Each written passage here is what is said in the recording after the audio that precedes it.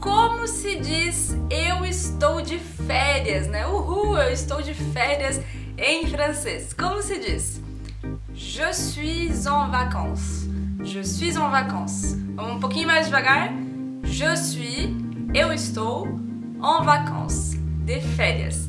En vacances. Je suis en vacances.